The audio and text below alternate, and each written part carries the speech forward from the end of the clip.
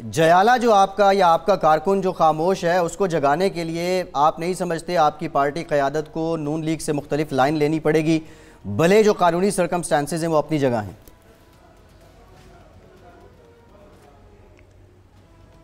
قانونی سرکمسٹانسز جو ہیں، وہ بھی امپورٹنٹ ہیں۔ کیونکہ نون لیگ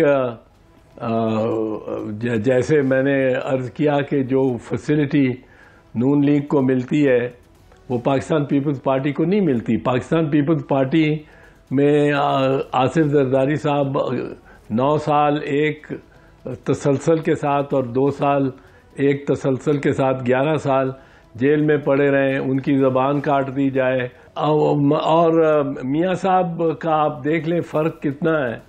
کہ وہ ابھی ملزم تھے اور ان کو کوئی وہ ملزم گیارہ سال کاٹ آئے اندر اور یہ مجرم ہو کے اور ان کی بیل چھ ہفتے کے لیے ہو گئی۔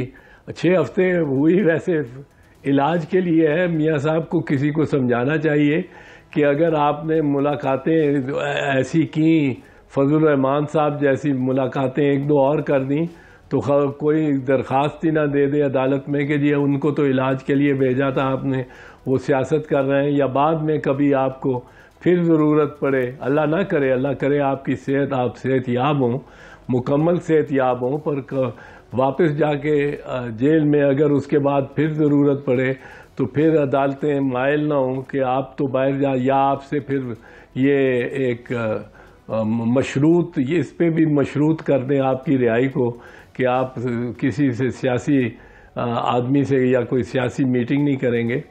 یہ ذرا سی میرے خیال میں چوک ہو گئی ہے۔ احتیاط برتنے کی ضرورت ہے۔ اور میاں صاحب کو تکلیف زیادہ نہیں پہنچانی چاہیے کیونکہ میاں صاحب بہرحال بیمار ہیں اور خاصے بیمار ہیں۔